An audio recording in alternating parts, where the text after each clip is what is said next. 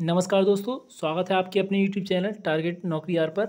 और आज हमने इसमें जी के जी के क्वेश्चन लिए हैं और करंट की क्वेश्चन भी हैं इसमें, जिससे कि आपके आने वाले एग्ज़ाम में बहुत ही महत्वपूर्ण साबित हों। इसमें हमने प्रीवियस ईयर क्वेश्चन लिए हैं। जिससे कि जो आने वाले एग्ज़ाम हैं, उन्हीं से रिलेटिव जो क्वेश्चन आता है, वो ये प्रीवियस ईयर के आधार पर ही घूमते रहते हैं। उसके पास से क्वेश्चन उठते हैं। तो हमने इसमें साथ में क्वेश्चन का एक्सप्लेन लिया है, जिससे कि आप पंद्रह क्वेश्चन हैं इसमें, पंद्रह क्वेश्चन से आप पचहत्तर क्वेश्चन भी कर सकते हैं। देखिए, आपने पढ़ तो रखा होगा उससे जब से आप पढ़ रहे हैं, तैयारी कर रहे हैं तो आप इसमें, आपकी जो और तैयारी इसमें इम्प्रूव होगी जब आपको पता पड़ेगा कि हाँ हमने ये क्वेश्चन पढ़ा है और इसका आंसर ये भी हो सकता है, ये भी हो सकता है। क्योंकि हमें डाउट रहता है क्वेश्चनों में कभी कभी कि इसका ये भी हो सकता है, ये भी हो सकता है। तो आपके दिमाग को खुला रखें और इसमें आपको पाँच सेकेंड दिए जाएँगे सोचने के लिए और अपने दिमाग में सोच कर रखें और कमेंट बॉक्स में बताएँ बाद में कि आपके कितने आंसर इसमें ठीक जा रहे हैं। तो चलते हैं पहले क्वेश्चन पर। हाल ही में किस राज्य ने देश का पहला जेंडर पार्क विकसित किया है? तो ऑप्शन आपके सामने है। आपने पढ़ लिया होगा क्वेश्चन तो इसका हम डायरेक्ट आंसर पर चलते हैं। तो इसका आंसर हो जाएगा केरल। केरल में जो है जेंडर पार्क विकसित किया जा रहा है, देश का पहला जेंडर पार्क है। देखिए, अगर केरल की बात करी जाए तो केरल की अभी जो वो हैं गवर्नर हैं, वो आरिफ मोहम्मद खान हैं, ठीक है, आरिफ मोहम्मद खान हैं। और यहाँ की जो वो सी एम कौन है? तो सी एम है विजय विजय एन यन, पिनरही विजयन, पूरा नाम है इनका। और इसका जो हाई कोर्ट है वो कोचिन में कभी कभी हाई कोर्ट पूछ लिया जाता है इसका तो ये चीज़ याद रखें। नेक्स्ट क्वेश्चन है हमारा, हाल ही में किस राज्य में सैयद मुश्ताक अली ट्रॉफी दो हज़ार इक्कीस जीत ली है? तो बताइए इसमें किसने जो है सैयद मुश्ताक अली ट्रॉफी जीती है? तो जल्द से जल्द आंसर करिए आप इसमें और सोचिए। तो इसका आंसर हो जाएगा, आपने सोच लिया होगा। और option number D, Tamil Nadu. Tamil Nadu ने जो Syed Mushtaq Ali trophy T twenty trophy जो है, जीती है। ये टी ट्वेंटी ट्रॉफी है, जो कि जीती गई है। और अगर तमिलनाडु की बात करें तो तमिलनाडु के अभी सीएम एम के स्टालिन है। एम के स्टालिन यहाँ के सीएम है और गवर्नर बनवारी लाल पुरोहित हैं। बनवारी लाल यहाँ के पुरोहित जो है, क्या है? गवर्नर हैं। तो दोनों को याद रखने हैं हमें। नेक्स्ट क्वेश्चन में चलते हैं।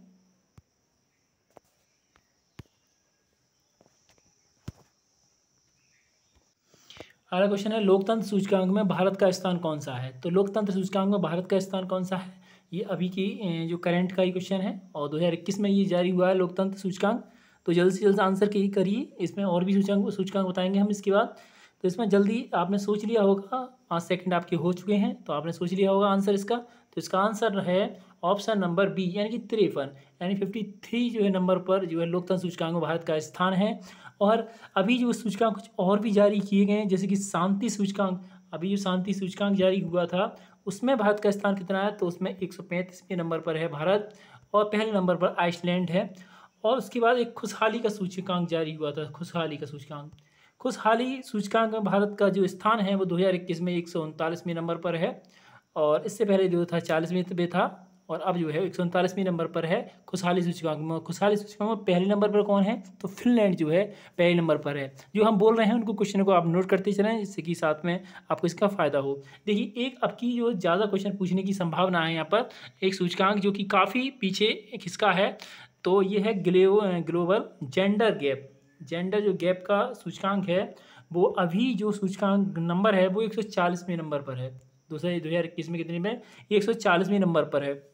और 2020 में था ये एक सौ बारहवीं नंबर पर। एक सौ बारहवीं नंबर पर था, अब एक सौ चालीसवें नंबर पर है अभी 2021 में। तो इतना इसमें गैप आया है तो इस वजह से ये ज़्यादा इंपॉर्टेंट रहेगा और ये पूछा भी जा सकता है। तो अगले क्वेश्चन में चलते हैं। देखिए, यकीन मानिए बिना करियर की ना कोई इज़्ज़त है और ना सुख है। इसलिए मेहनत कीजिए और बेहतर करियर बनाइए। मेहनत लगातार करती रहिए, जिससे कि आपको सफलता एक दिन ज़रूर मिलेगी। देखिए, आप डेली मेहनत करेंगे, तभी काम चलेगा, नहीं तो एक दिन करके अगर आप छोड़ देंगे तो आपकी जो पहली बारी मेहनत है, वो भी बेकार हो जाएगी। अगले क्वेश्चन पर चलते हैं नेक्स्ट क्वेश्चन पर। किस संशोधन के तहत दिल्ली को राष्ट्रीय राजधानी क्षेत्र घोषित किया गया? सोचिए इसमें, किस संशोधन के तहत दिल्ली को राष्ट्रीय राजधानी घोषित किया गया? आंसर कीजिए, जल्द से जल्द ऑप्शन इसमें आंसर हम करते हैं इसमें, और तो आपने सोच लिया होगा answer, option number D sixty nine यानी कि सिक्सटी नाइन में संशोधन, यानी कि उनहत्तरवीं संशोधन के तहत जो है दिल्ली को राष्ट्रीय राजधानी क्षेत्र घोषित किया गया। देखिए, राष्ट्रीय राजधानी क्षेत्र इसमें घोषित किया गया। इससे संबंधित अब जो क्वेश्चन बनेंगे इसमें, हम उनके बारे में बात करेंगे इसमें। देखिए, इसके बाद जो सत्तरवा संविधान संशोधन था, वो किससे संबंधित है? तो दिल्ली और पांडिचेरी, दिल्ली और पांडिचेरी को इसमें राष्ट्रपति के चुनाव में भाग लेने का अधिकार दिया गया था सत्तरवें संविधान संशोधन के तहत।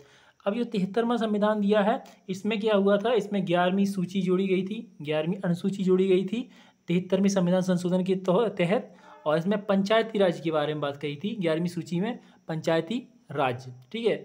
उसके बाद चौहत्तरवा संविधान संशोधन हुआ था। इसमें बारहवीं अनुसूची जोड़ी गई थी, बारहवीं अनुसूची जोड़ी गई थी और ये इसमें क्या था? इसमें स्थानीय शासन यानी कि नगर पालिका, नगर परिषद ये जोड़ा गया था चौहत्तरवें संविधान संशोधन के तहत। नेक्स्ट क्वेश्चन पर चलते हैं। किस अनुच्छेद में संघ लोक सेवा आयोग के बारे में बताया गया है? संघ लोक सेवा आयोग यानी यूपीएससी के बारे में बताया गया है। जल्द से जल्द बताइए आंसर इसका। संघ लोक सेवा आयोग के बारे में किस अनुच्छेद में बताया गया है? आपने सोच लिया होगा आंसर इतने समय में भी। तो इसका आंसर हो जाएगा ऑप्शन नंबर बी। यानी कि तीन सौ पंद्रहवें नंबर पर जो है संघ लोक सेवा आयोग के बारे में बताया गया है। तीन सौ पंद्रह अनुच्छेद में बताया गया है संघ लोक सेवा आयोग के बारे में। अनुच्छेद इसमें तीन सौ पंद्रह से लेकर लगभग तीन सौ तेईस तक अनुच्छेद हैं, ठीक है? पंद्रह से लेकर तीन सौ पंद्रह से लेकर तीन सौ तेईस तक जो है इसी के अनुच्छेद हैं। लोक सेवा आयोग के बारे में बताया गया सब में, कि नियुक्ति वगैरह के बारे में। अगर इसकी देखिए नियुक्ति की बात की जाए तो इनकी नियुक्ति कौन करता है? संघ लोक सेवा आयोग की सदस्य की तो राष्ट्रपति के द्वारा इसकी नियुक्ति की जाती है। और इसमें अगर इसकी आयु बात की जाए, इनका कार्यकाल कितना होता है? तो पैंसठ वर्ष इसका कार्यकाल होता है, ठीक है? पैंसठ वर्ष तक ये रह सकते हैं। और इनका अगर वेतन की बात की जाए तो वेतन इसका कहाँ से दिया गया, दिया जाता है? तो इनका वेतन की बात कर लें हम तो इनका संचित निधि से दिया जाता है। किससे? संचित निधि से दिया जाता है। संचित निधि में जो पैसा कहाँ से आता है तो कर और इनकम टैक्स वगैरह का जो है, सब पैसा इसी में इकट्ठा होता है। और इसकी इसका जो पूछा जाता है किस आर्टिकल के तहत आता है, ये तो दो सौ छियासठ के तहत जो संचित निधि आती है। और इसका संचित निधि का रखवाला कौन होता है तो संसद इस संचित निधि की रखवाला होता है। संसद के द्वारा ही इसमें पैसा निकाला जा सकता है और डाला जा सकता है। जो भी है, वो संसद इसका पूर्ण नियंत्रण होता है संसद का। ठीक है, एक आकस्मिक निधि होती है, दो अनुच्छेद के तहत, जिसमें राष्ट्रपति का अधिकार होता है उस पर। ठीक अगले क्वेश्चन में चलते हैं। और अगर राज्य में अगर जो अधिकारी को नियुक्त किया जाएगा, वो राज्यपाल पर, राज्यपाल नियुक्त करेगा। नेक्स्ट क्वेश्चन में चलते हैं। पंचायती राज संस्था की स्थापना किस स्तर पर नहीं की गई है? तो इसमें ऑप्शन है आपके पास चार, और चार ऑप्शन को आपको पढ़ना है। जो पंचायती राज थी, संस्था थी, वो किस स्तर पर नहीं की गई है? नहीं की गई इसमें, ठीक है? क्योंकि अब देखिए जो लेवल बढ़ रहा है पेपर का तो उसमें पेपर में चार विकल्प दिए जाएँगे और चारों सही हो करेंगे मतलब तीन सही होंगे और एक गलत होगा। ठीक उस अनुसार जो है इसमें आप क्वेश्चन आ रहे हैं, थोड़ा टफ होता जा रहा है कंपटीशन तो उसके अनुसार आपको भी इसमें इम्प्रूव करना पड़ेगा अपना स्तर।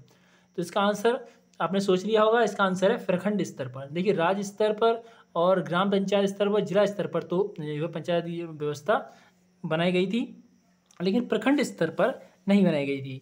ठीक है, और जो पंचायती राज व्यवस्था सबसे पहले बलवंत राय मेहता समिति के द्वारा की गई थी और इसकी जो हमने संशोधन थे, वो तिहत्तरवा संविधान संशोधन के तहत इसमें पंचायती राज जोड़ा गया था और सबसे पहले ये राजस्थान में पंचायती राज की व्यवस्था शुरू की गई थी नागौर ज़िले में, ठीक है, उन्नीस सौ उनसठ में, दो अक्टूबर उन्नीस सौ उनसठ को। जवाहरलाल नेहरू के द्वारा सब पहली, सबसे पहली बार जो है राजस्थान के नागौर ज़िले में ये व्यवस्था शुरू की गई थी, पंचायती राज व्यवस्था। नेक्स्ट क्वेश्चन पर चलते हैं। विवान्तर का ऐसा इकाई क्या है? जो विवान्तर है, उसकी ऐसा इकाई क्या है? बताइए, इसमें तो आपको आंसर पता ही होगा। आंसर, कुछ क्वेश्चन इसमें सरल भी हैं, कुछ मतलब हार्डली हैं, जो कि आपको आसान भी पड़े और आपको कुछ सोचना भी पड़े क्वेश्चन में। आंसर इसका, सोच लिया होगा, इसका आंसर क्या हो जाएगा? बोल्ट बोल्ट जो है, इसका ऐसा ही मात्रक है, और जूल जो है, कार्य का मात्रक है, और क्लोबार्ट जो है, शक्ति का मात्रक है। नेक्स्ट क्वेश्चन में चलते हैं। निम्नलिखित में से किस स्थान पर नागौर परमाणु ऊर्जा स्टेशन स्थित है? नागौर जो सॉरी यहाँ पे नरोरा है, ठीक है? नरोरा नरोरा परमाणु स्टेशन स्थित है। ये पता होगा आपको आंसर। इसमें ऑप्शन नंबर सी हो जाएगा, उत्तर प्रदेश। उत्तर प्रदेश, जो कि इसमें यहाँ पर परमाणु ऊर्जा स्टेशन स्थित है। देखिए, कुछ और स्टेशन की बात करते हैं, जो कि गुजरात में पहला ऑप्शन है गुजरात में। गुजरात में कौन सा है? गुजरात में काकरा पार है। काकरा पार जो है, परमाणु संयंत्र है काकरा पार। और महाराष्ट्र में कौन सा है? तो महाराष्ट्र में है तारापुर। तारापुर कहाँ पर है? तारापुर महाराष्ट्र में है। और तमिलनाडु में दो हैं, तमिलनाडु में कुंडाकुलम और कलपक्कम कुंडाकुलम और कुलपक्कम दो तरह दो परमाणु बिजली केंद्र हैं यहाँ पर। देखिए, सबसे ज़्यादा कुंडाकुलम जो है वो 2000 मेगावाट की करीब बनाता है। तो सबसे ज़्यादा बिजली बनाने वाला जो परमाणु ऊर्जा स्टेशन है वो तमिलनाडु के कुंडा कुंडाकुलम है, ठीक है? और एक और है जैसे कि केंगा केंगा कहाँ पर है? कर्नाटक में है। और तो महाराष्ट्र में हो गया और गुजरात में काकरापार ठीक है, ये सब जो है काफ़ी इंपॉर्टेंट है तो आप ये लिख लें और याद कर लें। क्वेश्चन है, छोटे साम्राज्य को ब्रिटिश साम्राज्य में मिलाने के लिए सहायक संधि किसने शुरू की? यानी सहायक संधि किसके द्वारा शुरू की गई थी? ब्रिटिश साम्राज्य में मिलाने के लिए। जल्द से जल्द आंसर करिए आप। तो आंसर इसका आपने सोच लिया और आंसर जो है सरल ही इसका? और लॉर्ड बेलेजरी लॉर्ड बेलेजरी के द्वारा सहायक संधि की शुरू की गई थी लॉर्ड बेलेजरी के द्वारा। लॉर्ड बेलेजरी को बंगाल का शेर भी कहा जाता है और इससे इन्होंने ये देखिए फोर्ट विलियम कॉलेज की स्थापना की गई थी, एक फोर्ट विलियम कॉलेज की स्थापना की गई थी इनके द्वारा, कलकत्ता में। और इनसे पहले डुप्ले जो थे, उन्होंने सबसे पहले सहायक संधि शुरू की थी, सहायक संधि की जो शुरू की थी, वो इनसे पहले भी किन्ने की थी, डुप्ले ने, जो कि फ्रांसीसी गवर्नर थे। और इनके समय में इन्हें बंगाल का शेर कहा जाता है, ठीक है, ये तो बात हो गई। और इनके समय में सबसे महत्वपूर्ण क्वेश्चन ये पूछा जाता है कि टीपू सुल्तान टीपू सुल्तान की इनके समय में मृत्यु हुई थी, टीपू सुल्तान की इस समय ये गवर्नर थे, उस समय जो टीपू सुल्तान की मृत्यु हुई। और टीपू सुल्तान की मृत्यु कब हुई? सत्रह सौ निन्यानवे, सत्रह सौ निन्यानवे में इस समय चतुर्थ अंगल मैसूर युद्ध हुआ था, उस समय जो है इसकी मृत्यु हुई थी टीपू सुल्तान की। और लॉर्ड बेलेजली के समय ही काफ़ी महत्वपूर्ण क्वेश्चन है और पूछा जाता है। नेक्स्ट क्वेश्चन पर चलते हैं। देखिए, वो सहायक संधि अपनाने वाले यहाँ पर जो राज्य हैं, सबसे पहले पूछा जाए कि किसने अपनाई सहायक संधि? किस तो हैदराबाद, फिर मैसूर, तंजौर, अवध, पेशवा और बरपरार और फोसले ग्वालियर। ठीक है, ये जो है, इन्होंने सबसे पहले किन किन जो है, शहर थे किस किन जो थे, राज्य थे, उन्होंने अपनाई थी सहायक संधि तो इनके द्वारा अपनाई गई थी इनमें। ठीक, आप यहाँ देख सकते हैं। और यहाँ आप देखिए, ये सब आंसर आपके यहाँ दे रखे नेक्स्ट क्वेश्चन पर चलते हैं। सिक्कों के कुन किन गुरु ने खालसा पंथ की स्थापना की थी? देखिए एक क्वेश्चन से हम कई क्वेश्चन इसमें कवर कर रहे हैं। तो इसका आंसर जल्दी बताइए। आपने आंसर इसका पता होगा और आंसर सरल ही है इसका। गुरु गोविंद सिंह। गुरु गोविंद सिंह के द्वारा खालसा पंथ की स्थापना की गई थी। ठीक है, गुरु गोविंद सिंह वो दसवें गुरु थे सिखों के। ठीक, गुरु गोविंद सिंह कौन से थे? दसवें गुरु थे और इनका जन्म कहाँ हुआ था? इनका जन्म पटना में हुआ था। पटना में इनका जन्म हुआ था सोलह में। सोलह में इनका जन्म हुआ था और इनकी बात इन्होंने देखी सबसे बड़ी प्रथा एक चलाई थी सिंह जोड़ने की, जो अब नाम के अगेला सिंह जोड़ा जाता है। ये तो ये जो है सबसे पहले जो प्रथा चालू की थी वो किसने की थी? तो गुरु गोविंद सिंह के द्वारा शुरू की गई थी। ठीक है, इसमें इन्होंने देखिए यहाँ पर सबसे इम्पोर्टेंट एक बात रहती है कि इनके ही जो बेटे थे दो बेटे थे इनके जोरबार सिंह और फतेह सिंह। उनको वज़ीर खां, एक वज़ीर खां था उसने जो है दीवार में चुनवा दिया था। तो ये क्वेश्चन पूछा जाता है पूछा जाता है कि किसके, किस गुरु के बेटों को दीवार में चुनवा दिया गया था? तो गुरु गोविंद सिंह के दो बेटे थे, फतेह सिंह और जोरावर सिंह। इनको दीवार में चुनवा दिया गया था। ठीक है नेक्स्ट क्वेश्चन में चलते हैं।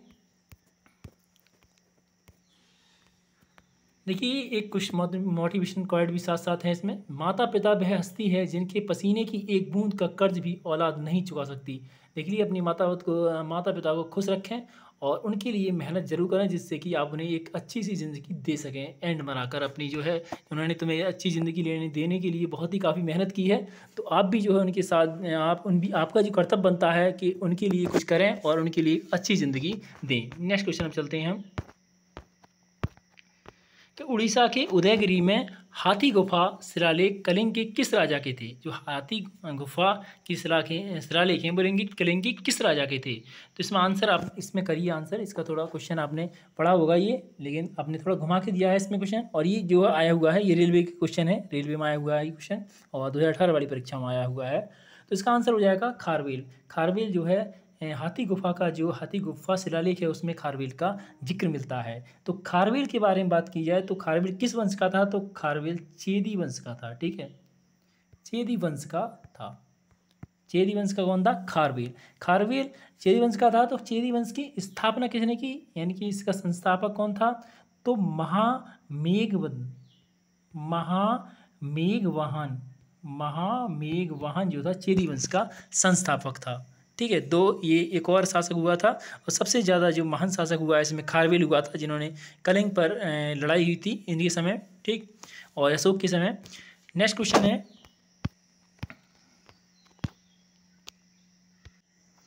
कवक की कोशिका विधि किसकी बनी होती है? तो कवक की कोशिका विधि किसकी बनी होती है? तो कवक का इंग्लिश में क्या कहते हैं? फंगस कहते हैं।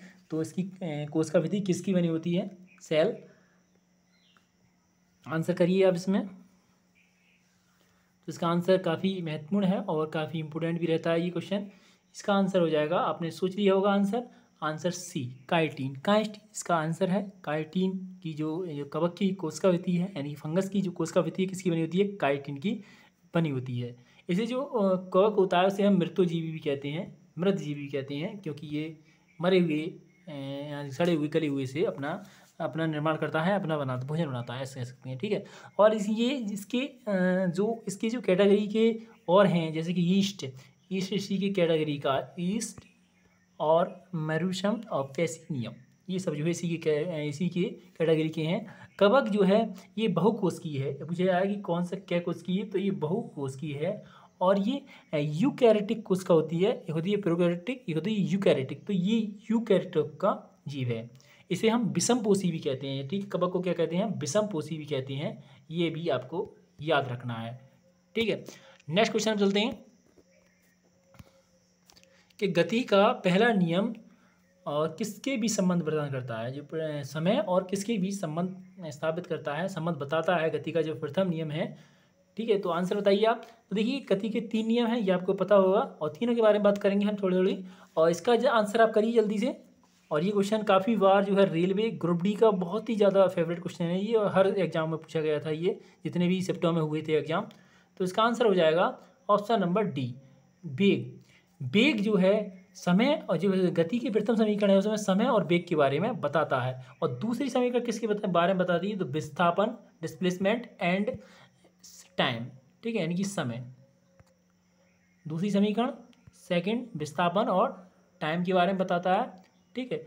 और उसके बाद जो तीसरी समीकरण है, वो बताती है विस्थापन displacement and velocity and displacement and विस्थापन और बेग के बारे में बताता यह है तीसरी समीकरण। ठीक है, दूसरी विस्थापन और टाइम एंड टी डी और टी वी और वो जाएगा वी टी ठीक है, ये आप शॉर्ट में याद रख सकते हैं, जिससे कि आपको आने वाले एग्ज़ाम में कोई भी गड़बड़ी ना हो और एकदम सही आंसर हो। तो पहली समीकरण अगर बात करिए तो बी बराबर U plus A T square है। ए टी है सॉरी और दूसरी समीकरण एस बराबर U T plus half A T square है और तीसरी समीकरण है बी स्क्वायर बराबर U square plus two A S इसकी तीसरी समीकरण है। और तीसरी समीकरण में, तीनों समीकरण में से आने निश्चित हैं आपकी भी। ठीक है तो ये तीन समीकरण आपको याद रखनी है, जिससे कि आपके आने वाले एग्ज़ाम में व्यस्त कारगर सिद्ध हो। अगला क्वेश्चन और है, कर सुधार समिति कौन सी है? कर सुधार समिति कौन सी है इसमें? जल्दी जल्दी आंसर कीजिए इसमें। और ये हमने सभी सब्जेक्ट के इसमें क्वेश्चन लिए हैं तो कर सुधार समिति कौन सी है? तो इसका आंसर हो जाएगा, आपने सोच लिया होगा आंसर तो ऑप्शन नंबर बी राजा चलेया समिति। राजा चलेया समिति जो है ऑप्शन नंबर बी जो कि कर सुधार से संबंधित है। अब जो और समिति हमने इसलिए वैसे ली है कि इसका, इनके बारे में बता सकें हम। तो अगली है, सुरेन, सुरेश तेंदुलकर समिति, ये किससे संबंधित है? तो ये गरीबी से संबंधित है, ठीक है? गरीबी उन्मूलन गरीबी उन्मूलन से संबंधित है और गोपरीय समिति, ये बैंक सुधार से संबंधित है। ये पूछा जाता है क्वेश्चन कि ये समिति किससे संबंधित है और स्वामीनाथन जो है वो जनसंख्या से संबंधित है। जनसंख्या नीति से संबंधित है, ठीक है? ये क्वेश्चन ज़्यादा पूछा जाएगा, जनसंख्या नीति वाला, ठीक है? तो ये याद रखें, ये तीनों समिति, ठीक है? पहली होगी तेंदुलकर समिति, गरीबी से संबंधित और ये तो है कर सुधार से संबंधित और गोपरी समिति बैंक से संबंधित है, स्वामीनाथन, जो जनसंख्या से संबंधित अभी जनसंख्या का कानून बना है, दो टू चाइल्ड पॉलिसी तो उसके लिए ये पूछा जा सकता है क्वेश्चन ठीक है, अगले क्वेश्चन चलते हैं। खनिज तेल किन चट्टानों से निकलता है? खनिज तेल चट्टानों से निकलता है? जल्द से जल्द आंसर करिए इसका। पहला है अग्नि चट्टान, अपसादी चट्टान रूपांतर चट्टान एलोकोतिक चट्टान। ठीक है, ये अग्नि चट्टान है, अग्नि लिख दिया है, कोई दिक्कत नहीं तो आप बताइए आंसर करिए इसका, जल्द से जल्द। और आपका समय हो चुका है। खनिज तेल किससे, कौन सी चट्टान से निकलते हैं? तो इसका आंसर हो जाएगा ऑप्शन नंबर बी। अब अपसादी चट्टानों से खनिज तेल निकलते हैं। तो इसमें थोड़ा बात कर लेते हैं। अग्नि चट्टान जो होती हैं, वो अत्यंत कठोर होती हैं। कठोर, ठीक, कठोर चट्टान होती हैं। कौन सी? अग्नि चट्टान होती हैं, कठोर। और इनमें बहुमूल्य चीज़ निकलती हैं। अग्नि चट्टानों में कौन सी निकलती है? बहुमूल्य चीज़, जैसे कि सोना, लोहा ठीक है, लोहा, सोना, चांदी, ठीक है, ये चीज़ जो है इसी में निकलती है, तावा तो ये सब किसमें निकलती हैं? अग्नि चट्टान में, बहुमूल्य चीज़ें, ठीक है, ये जीवाश्म रहित होती है, यानी कि इनमें जीवाश्म नहीं होता है। उसके बाद अगर अपसादी की बात करें तो इनमें जीवाश्म युक्त होती हैं, ये जीवाश्म चट्टान बोलते हैं इनके लिए, और ये परतदार होती हैं। परतदार होती हैं। इनका निर्माण कैसे होता है, ये बहुत बड़ा थोड़ा चैप्टर हो जाएगा। ठीक है, इस वजह से हम इसमें ज़्यादा एक्सप्लेन नहीं करेंगे, लेकिन इनमें जो महत्वपूर्ण महत्वपूर्ण पॉइंट हैं, उसके बारे में बात करेंगे। ये है कैसी होती हैं, परतदार और अग्नि होती हैं, कठोर चट्टान ठीक है, उसके बाद इसमें क्या निकलता है, आप सारी चट्टानों में तो इसमें निकलता है कोयला और इसमें कोयला और खनिज व तेल, खनिज तेल। ठीक है, खनिज तेल कहाँ से निकलते हैं? अपसादी चट्टानों से निकलते हैं। ये काफ़ी महत्वपूर्ण है और चूना पत्थर, जो अलुआ पत्थर है, वो अपसादी चट्टानों से ही निर्माण होता है उनका। और अग्नि चट्टान और अपसादी चट्टानों से मिलकर तीसरी कौन सी चट्टान बनती है? रूपांतर चट्टान या कार्यांतर चट्टान, जो कि काफ़ी इंपॉर्टेंट है। ठीक है क्वेश्चन अच्छे लगे हैं तो वीडियो को शेयर और लाइक ज़रूर कर दें, जिससे कि आने वाले एग्ज़ाम में आपको महत्वपूर्ण साबित हो। और देखिए, आने वाले एग्ज़ाम में हम और और क्वेश्चन लेकर आएँ, जिससे कि आपकी तैयारी बरकरार बनी रहे। धन्यवाद।